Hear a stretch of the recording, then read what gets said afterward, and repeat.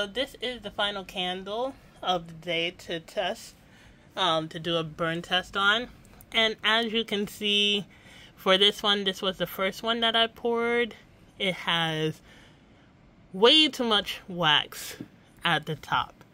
So uh, I now know that that level, that measurement, the calculation that I did for to get this much is too much. So um thanks for me doing this one first. I now know for the other ones exactly where I want the, the wax to go. But we are going to test it nevertheless, and we are going to see. This is the Coastal Comfort candle, and the Premier wick I'm using is 765. So I am going to grab my lighter here. So let's go ahead and light this.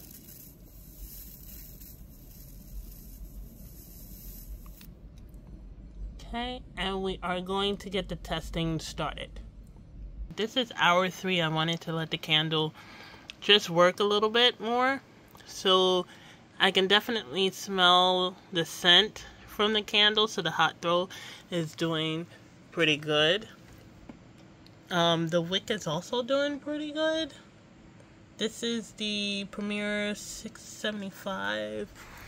There is let's see there's no mushrooming on top um the melt pool is trying to reach the edge but it's pretty similar to the other candle the winter candle from yesterday um, I'm thinking that all these that have these two wicks are going to kind of perform the same. So we'll see. We have one more hour to go before the burn test is over. But the hot throw is good. It's filling up the room. The jar is holding up well. Let's see the touch. It is hot at the top, of course. Um, it's still kind of like room temperature at the bottom. Um, the temperature before when I measured it was I'm sorry, when I took it, the temperature was 98, and that was in the second hour. So in the fourth hour, we're going to do the temperature again to see where it goes. But yeah, sorry about the horn. but yeah, it is coming along.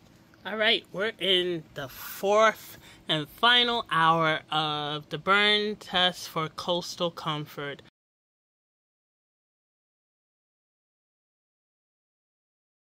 Good morning, everyone. It is the next day. Um, it is 8 o'clock in the morning, and I am starting the final two candles that need their first burn test.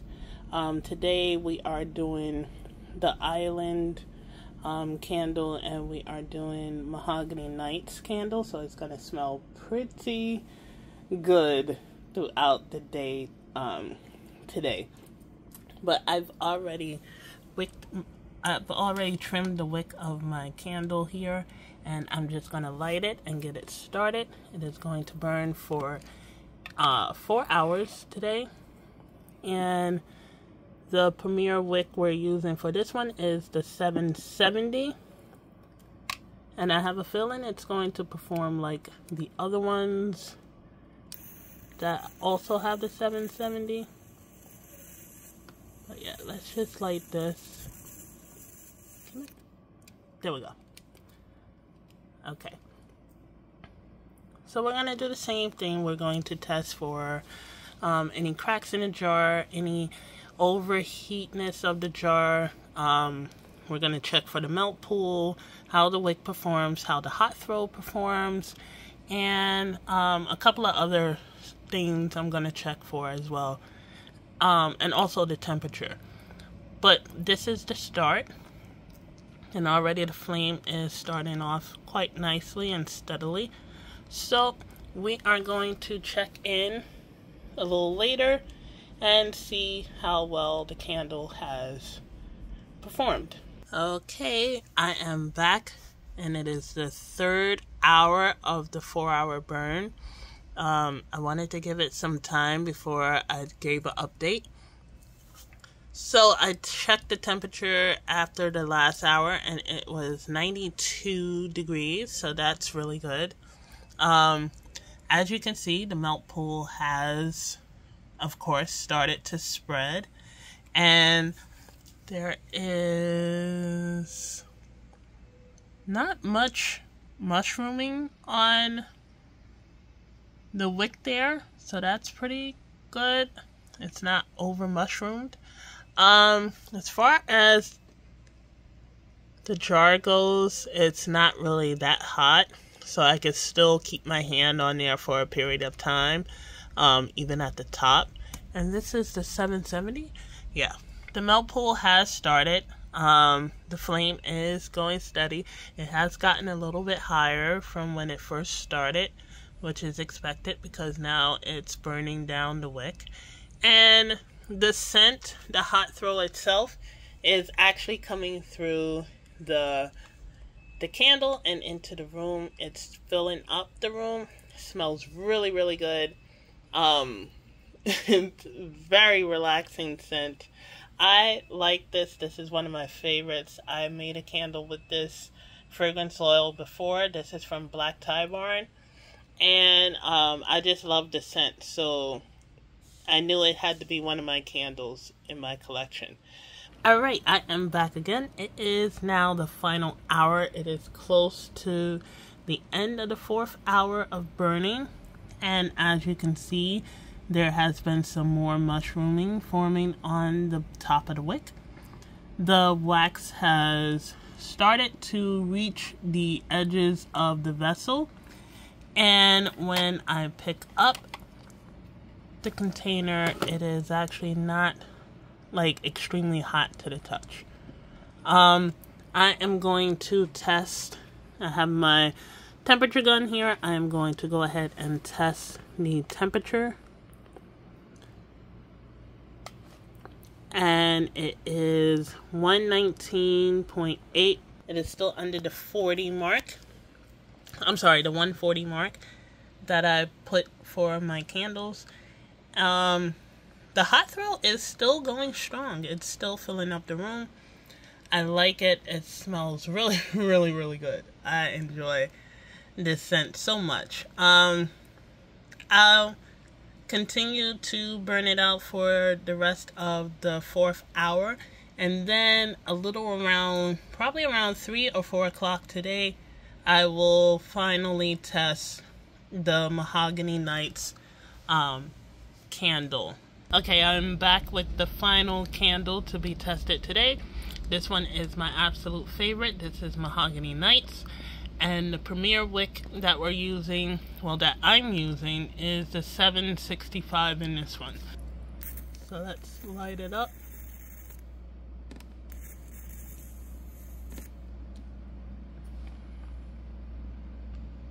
okay it's all lit and I will be back a little later to see how this candle performs with this wick alright I am back and this is the fourth hour of Burning Mahogany Nights. Um, it has about in half an hour to go, but I wanted you all to see what happened within the three hours that it has been burning. Well, three and a half now.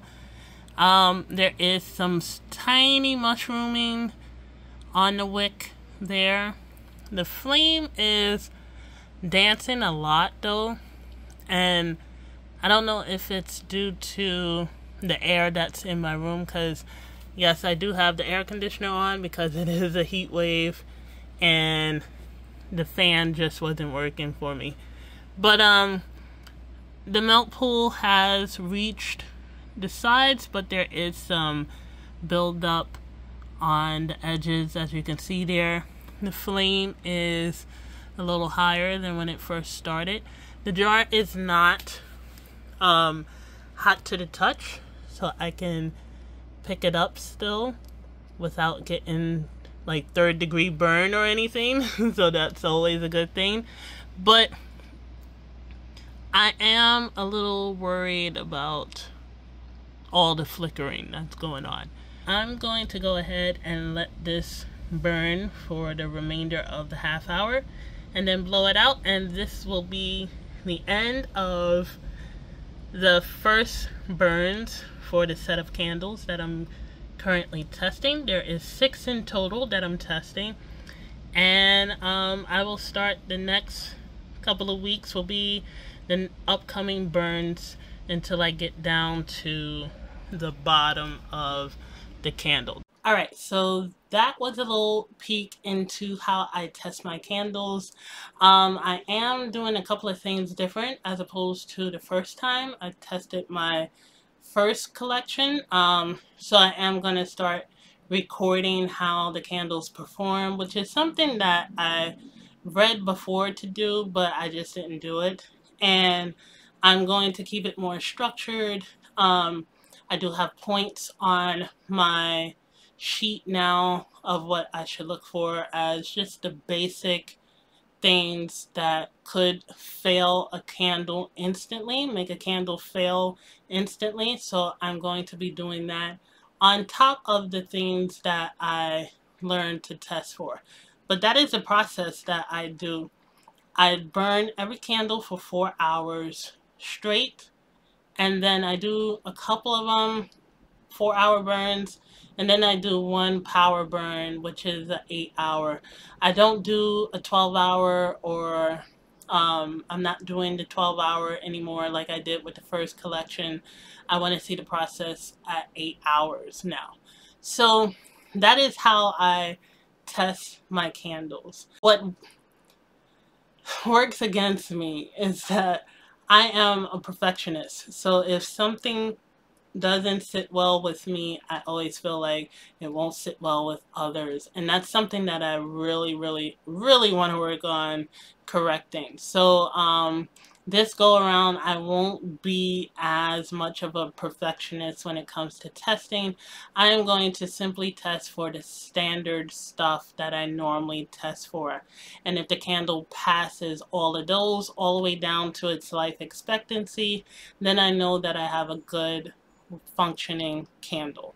Now, I really do like the way the Premier wicks work. They work completely different from the CDNs and the CDs that um, I first tested with, and even the Ecos that I first tested out with.